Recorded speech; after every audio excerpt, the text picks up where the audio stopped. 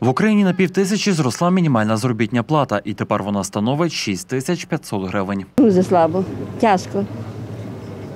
Жителі Закарпаття розповідають, тішаться підвищенням, однак, аби вони були відчутними, сума мала бути значно вищою. 500 гривень то нічого. Мало. Скільки треба? Мінімум 3 тисячі підняти. Не на 500 гривень. Пані Ірина працює приватним підприємцем з 92-го року. Її бізнес продаж сувенірів. Жінка каже, ще кілька років тому вдавалося заробити. Нині за місяць назбирує трохи більше мінімалки. Жителі економлять, бо мало вистачає на продукти, не те, що на сувеніри. Мені навіть не вистачає тих грошей, які заробляю я. Як може пенсіонер собі дозволити купити мандарину, якою мене пригостили? Не я купила.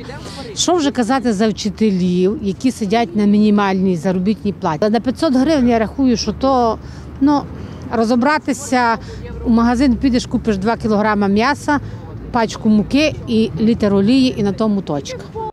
Жінка каже, разом із мінімалкою зріс єдиний соціальний внесок. Відповідно, переконана, що вгору підуть і ціни на ринках. З нового року дуже багато буде. Хто на в нас хто на якій категорії ще залежить.